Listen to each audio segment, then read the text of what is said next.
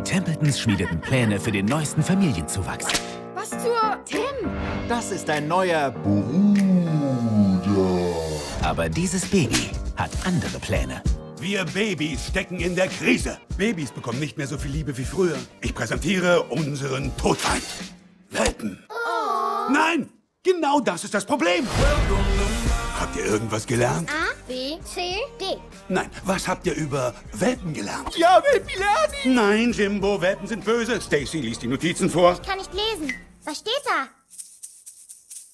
Boss, Eltern! Als hätten sie ihr eigenes kleines Meeting. Wer möchte Nachtisch? Das ist zu demütigend. Sie haben das richtige Baby für den Job. Ich weiß, wie wichtig diese Mission für die Firma ist. Mission? Du kannst sprechen! Furzpupskarre!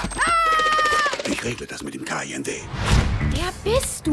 Ich habe eine Mission. Es gibt nicht genug Liebe für uns beide. Mein Job ist es, den Grund dafür rauszufinden. Besorg mir einen doppelten Espresso und guck, ob man hier irgendwo anständiges Sushi kriegt. Ich würde töten, wenn ich dafür eine Spicy Tuna Roll kriegen würde. Mom, Dad, das Baby kann sprechen! Das bedeutet Krieg.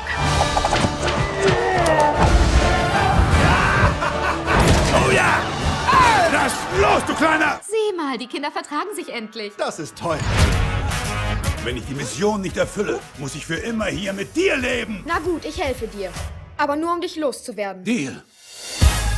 Hier kommt der Yummy Yummy Hubs. Nein, nein! Sie sehen höher. Yummy Yummy. Okay. Da hast du Yummy Yummy. Wie kommen wir an der Wache vorbei? Das ist die größte Demütigung meines Lebens. Oh.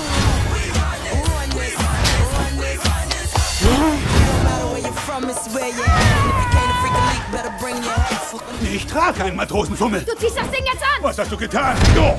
Was soll der Krach? Ist da nicht zum Knuddeln? Oh, und für dich habe ich auch einen. Was? Kacke, was? DreamWorks The Boss Baby. Leg den Keks weg. Kekse sind für Schwächlinge.